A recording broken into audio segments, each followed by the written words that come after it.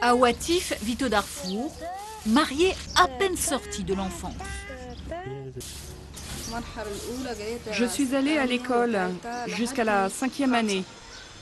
Un jour, je revenais de l'école et j'ai trouvé plein de monde à la maison. Je leur ai demandé ce qui se passait. Ils m'ont dit, c'est ton mariage. Moi, j'étais triste, vraiment triste. Des mariages et des grossesses précoces. Chaque année, le problème touche 7 millions d'adolescentes dans le monde. Parmi elles, 2 millions ont moins de 14 ans, autant dire des enfants. L'Afrique n'est pas le seul continent concerné, mais il est touché de plein fouet. En violer les pays où plus de 30% des femmes ont eu un enfant avant 18 ans.